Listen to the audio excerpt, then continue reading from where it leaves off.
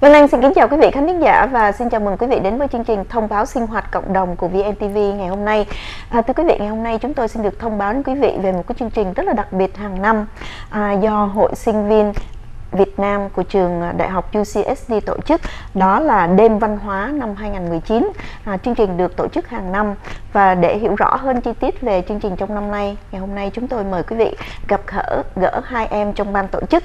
Đó là em à, Ivy Nguyễn, em là Culture Chair và bên cạnh em là em à, Heidi Trần, em là Social Chair. À, các em sẽ gửi đến quý vị những cái tin tức cập nhật nhất cho chương trình Đêm Văn hóa sắp tới của chúng ta.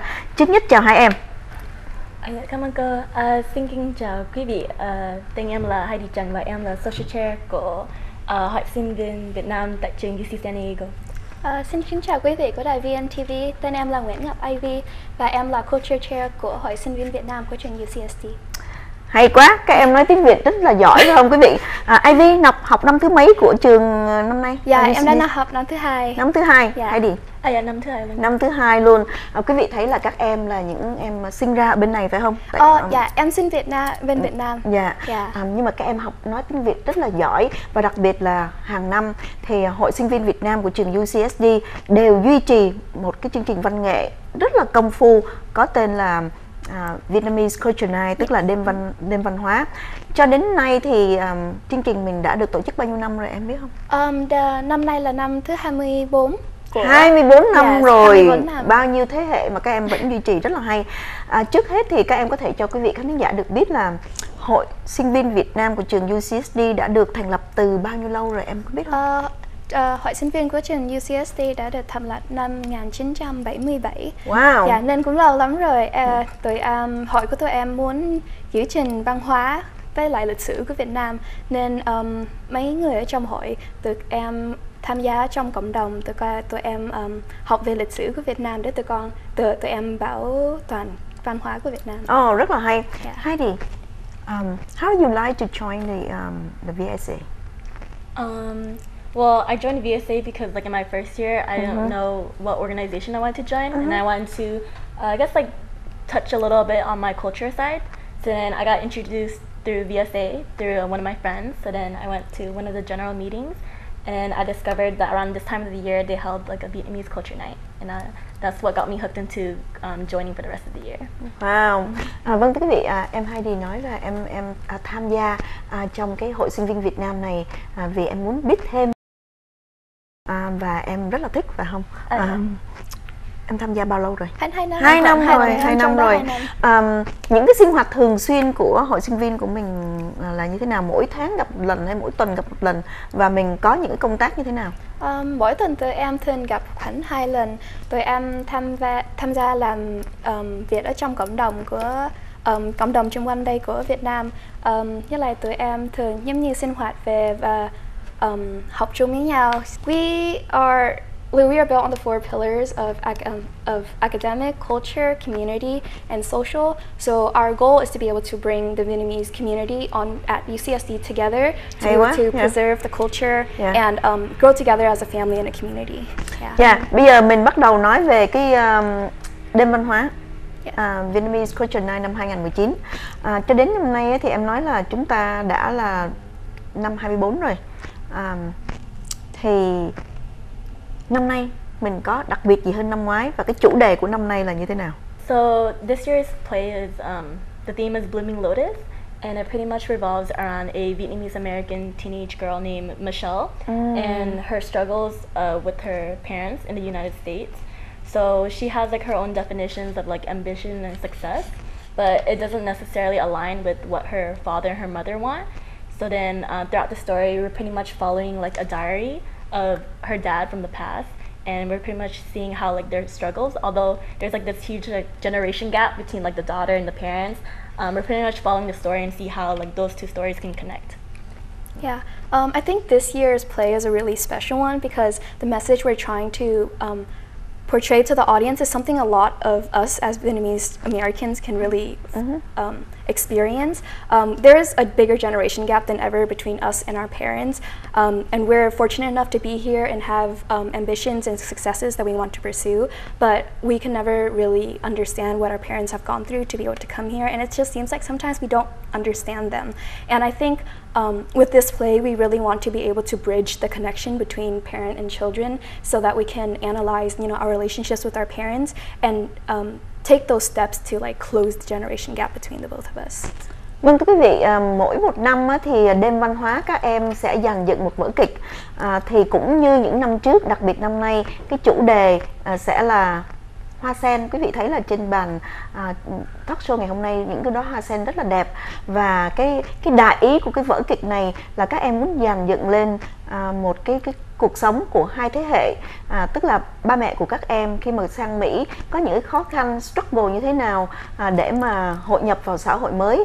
Và và vì có hai thế hệ đó cho nên các em hay à, giữa con con cái sinh ở bên này và cha mẹ có những cái khoảng cách.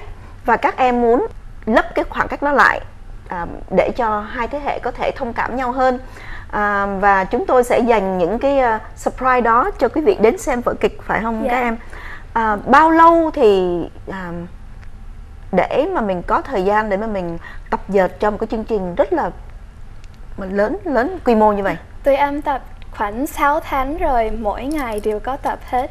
Nên um, rất là nhiều người khoảng hơn 100 học sinh ở trong hội của tụi em tham gia tập vào dợt. dạ tập vật chung với nhau nên um, rất là nhiều thời gian nhưng mà tại tụi em muốn dành dựng một cái show thật là lớn và thật là um, tốt để trình bày cho các uh, các khán giả Heidi uh, có cái vai gì trong cái cái chương trình đó hoặc là có hát gì trong đó không? Um, well, for the show, I'm actually one of the uh, supporting actors. Oh. So uh, I play the character of a girl named Lan. Mm-hmm. So she's pretty much like one of the best friends of the main character, which is like Hua Sen. And then uh, along with acting, I'm also dancing in two other pieces. Wow. À, thưa quý vị, à, em Heidi em sẽ nhận một cái vai cho cái vở kịch đó tên là Lan và em à, là người bạn với lại cái người nữ diễn viên chính trong cái vở kịch đó và bên cạnh đó em cũng là một trong những um, dan dancer À, dạ. à, dạ trong buổi đó. À, còn Ivy Um, I am the traditional coordinator Oh, of this year's VCN, so I am in charge of overseeing all the traditional dances. Um, I'm also in modern and traditional, so for traditional, tụi em um, nhảy với nón lá và quạt mặc áo dài trắng. Mhm, mhm. Dạ, còn for modern thì tụi em có giống như nhạc Việt nhưng mà nhảy theo thời đại. Năm nay, dạ, nên À. có đến hai, hai nhiều nhiều màn nhảy lắm. À, rất là hay thưa quý vị à, cô Ivy rất là dễ thương của chúng ta cô là người à, đảm trách à, lo về cái phần à, nhảy, Nhảy. À, cho các dancer cho các người à, mà múa ở trong à, cái cái đêm văn hóa đó à, các em sẽ mặc những à, à, áo dài Dạ, áo nón lá đó là nét truyền thống của người Việt Nam Dạ. và bên cạnh đó thì các em cũng mặc à, những cái trang phục hiện đại modern Dạ.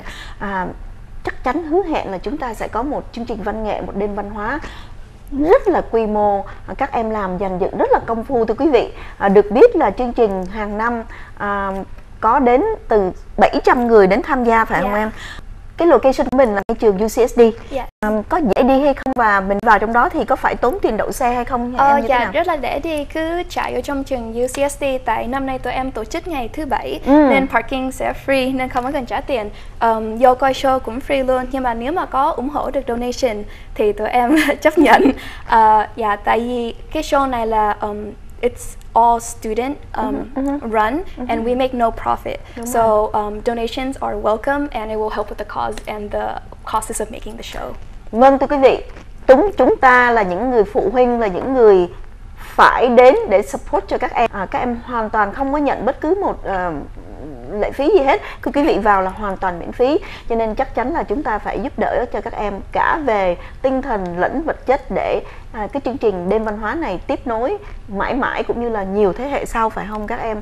Và cái điều quan trọng là quý vị kêu gọi thật đông quý vị phụ huynh đến với các em. Các em có tới 100 em tham gia phải không? dạ 100 hơn 100 người lần À, vâng thưa quý vị, à, em Heidi nói là năm nay các em chọn cái chủ đề là hoa sen. À, hoa sen nở rất là đẹp phải không quý vị? Và mà các em mong rằng sau cái vở kịch này, à, cái message mà các em muốn gửi đến chúng ta là chúng ta cùng đồng lòng làm việc chung với nhau thì tất cả mọi việc sẽ có một cái kết quả tốt đẹp.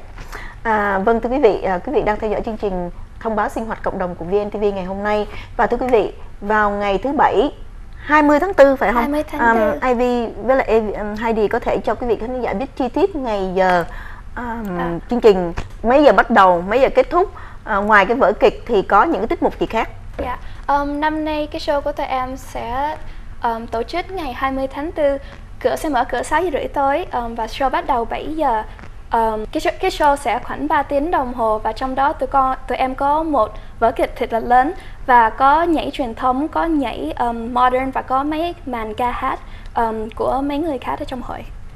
Vâng thưa quý vị rất là hấp dẫn rất là hay thưa quý vị. Và một lần nữa à, chúng tôi xin mời gọi tất cả quý vị đến tham dự trong đêm văn hóa à, do các em à, trong hội sinh viên của trường đại học à, UCSD tổ chức. Hội sinh viên Việt Nam trường đại học UCSD tổ chức năm nay là năm 2024 à, à, vào ngày thứ bảy 20 tháng 4 sắp tới à, thời gian không còn à, lâu nữa. À, mong rằng quý vị sẽ đến và ngồi kín cả hội trường. Và những cái giờ phút cuối cùng này chúng tôi xin dành cho hai em trong ban tổ chức mời gọi quý vị đến Um, we encourage you to come to our show. Um, we put a lot of effort into this, and it's something that we want to present um, to bring a message. Um, uh, the generation gap is a really big issue nowadays, and we wish that people who come to see our show are able to enjoy the skit, bring home a message, and also have um, fun watching the dances, um, some cries and laughs along with us during the play. And we hope to see you there. For our show, it's going to be held at Mandeville Auditorium, and um, more information will be posted online, and you can always reach out to us too as well.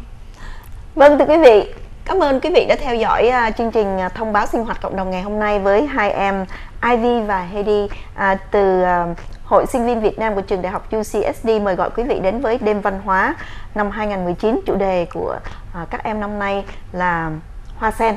Quý vị thấy là những cánh hoa sen rất là đẹp à, và một lần nữa cảm ơn sự chú ý lắng nghe của quý vị và các bạn và xin hẹn gặp lại quý vị vào ngày thứ bảy 20 tháng 4 sắp tới vào đúng 6 giờ 30 tối và cửa bắt đầu mở và 7 giờ là chương trình bắt đầu. À, hẹn gặp quý vị trong đêm văn hóa sắp tới để ủng hộ tinh thần cho các em các em tập dệt rất là công phu rất là cực khổ thưa quý vị. Cảm ơn quý vị rất là nhiều. Chúc cho các em có đêm à, văn hóa năm 2019 thật là thành công. Cảm ơn cô. Yeah, come on, go. xin kính chào quý vị